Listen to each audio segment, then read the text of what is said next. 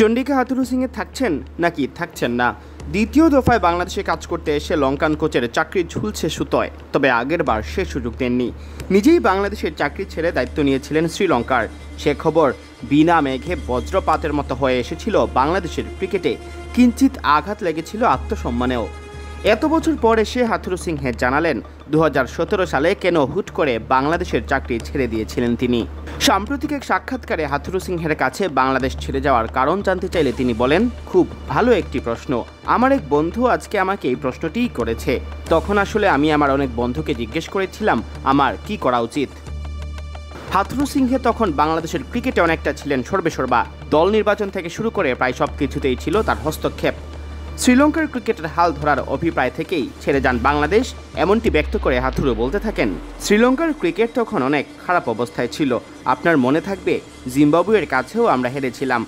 বাতাসেও অনেক গুঞ্জন ভাসছিল। Match fixing, দুর্নীতি, আরও কত কিছু। একটা ব্যাপার ছিল আমার মধ্যে, তা হচ্ছে আমার প্যাশন যে আমি নিজের দেশকে কোচিং করাতে চাই। আমার মনে হয়েছে, তখনই সেরা সময় ছিল। দুইয়ে দুইয়ে চার মিলে যায় লঙ্কান বোর্ড থেকে হাথুরু সিংহের সাথে যোগাযোগ করা হলে।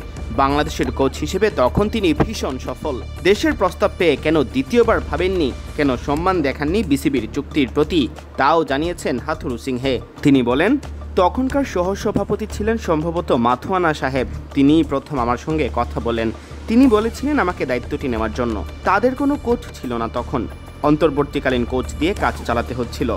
ফলে এখানে এই দুটি কারণের মিশ্রণ ছিল। যে আমার পেশন ছিল নিজ দেশকে কোচিং করানো। যদিও শ্রীলঙ্কার কোচ হিসেবে হাথুরু সিংহে ছিলেন চরম ব্যর্থ, এক পর্যায়ে বোর্ডই তাকে চাকরিচ্যুত করে। তবে হাথুরু সিংহে বলেন, আমি যা হতে পেরেছি তা তো ক্রিকেটের জন্যই হতে পেরেছি। এর সাথে শ্রীলঙ্কার ক্রিকেট ঠিক করার ইচ্ছাটাও ছিল, কারণ তখন আমরা এতটাও খারাপ ছিলাম না। আমি জানতাম, সেখানে এমন কিছু চলছিল যা আসলে ঠিক ছিল না। এই দুটি কারণেই ছিল।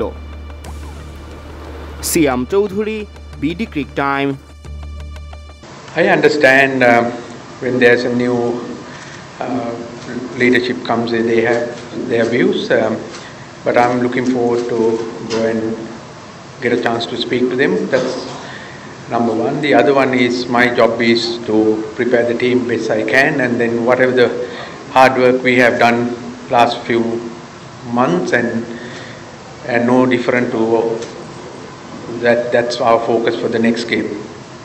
Yeah, answering your first part of the question, um, if you remember, we played on very result oriented pitches previously.